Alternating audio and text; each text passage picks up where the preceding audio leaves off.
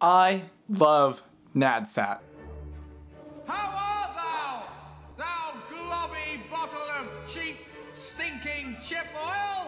Hello YouTube, what's up? I'm Adam, this is the Boston Bookhead. Today we're going to be talking about one of my favorite languages in literature, NADSAT. NADSAT's a language found in Anthony Burgess's A Clockwork Orange, which happens to be one of my favorite novels of all time. Clockwork Orange is a novel that follows a teenager named Alex, and it details his horrific crime sprees, his capture by the government, and his attempted rehabilitation via the Ludovico technique all promoted by the Minister of the Interior. The entire novel is narrated by Alex, and it is through the language of Nadsat, which is Russian for teen. Not only is it the most unique language I've ever seen in a book, it gives Alex's character a lot more dimension and charm that reminds me a lot of the way Humbert Humbert speaks in Lolita. Nadsat is a combination of Russian, Romany, the English of Shakespeare, the English of the Elizabethans, Malay, British Cockney, and general underworld criminal terminology. And it makes for some of the coolest and most rich sentences I have ever read in my life. Take this for example when he's describing listening to the old Ludwig van. Oh, it was gorgeousness and gorgeosity made flesh. The trombones crunched red gold under my bed, and behind my Gulliver,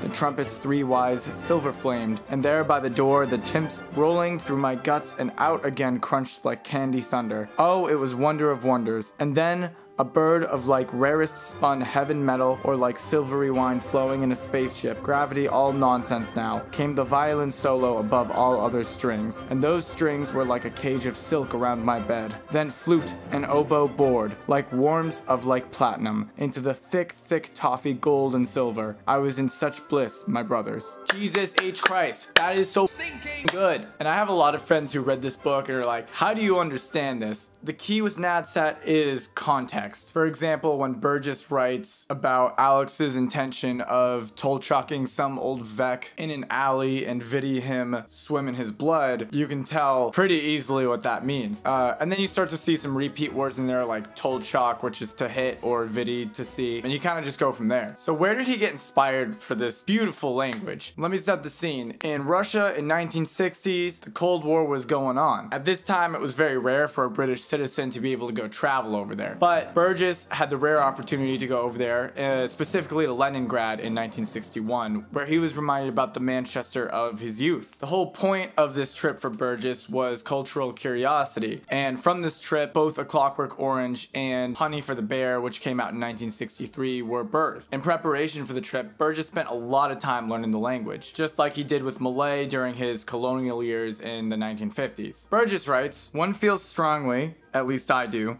that practitioners of literature should at least show an interest in the raw materials of their art. So what does Nadsat do for readers beyond just looking pretty? Well, in the book, it identifies Alex and his droogs as a group that embraces counterculture before their brutal behavior is even described. And just like George Orwell's 1984 language, Newspeak, one of Burgess's main intentions with this language was to create a language that would last forever in its uniqueness. And I honestly think that's why this novel and movie has had such a long impact. It's not because they just talk funny, but it's gorgeous and you can keep rereading it and find new phrases that you can sink your teeth into every single time. Like it's just, it's so good to reread over and over and over again. It has so many perks of just taking it slow and going word by word. And this is partly what makes A Clockwork Orange, in my opinion, one of the greatest novels ever written. The language also coming from a lot of different cultural influence kind of removes the geographical location of the novel. This could take place anywhere. Leningrad, London, Los Angeles, any L place and not L place. Up to you. Burgess saw his language Nadsat as a brainwashing device. He writes in You've Had Your Time that the novel was to be an exercise in linguistic programming,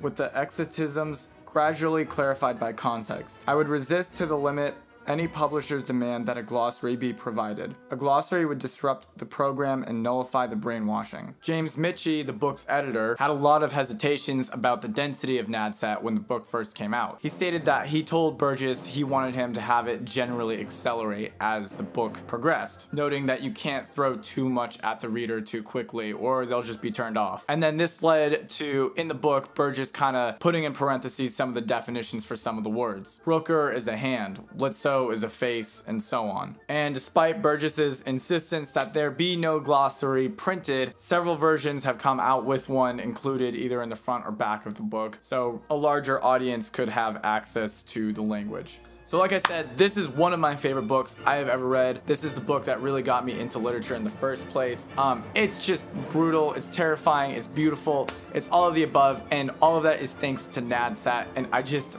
love it so much. So what are some other books that you think have really unique language that just make the book and the world that much more interesting by incorporating it? I'd love to hear some of your answers and suggestions in the comments below. And that's all I have for today. So thank you guys so much for watching. My name's Adam. Hit subscribe and like and follow me on Instagram. Thank you guys so much. Let's get it, boys.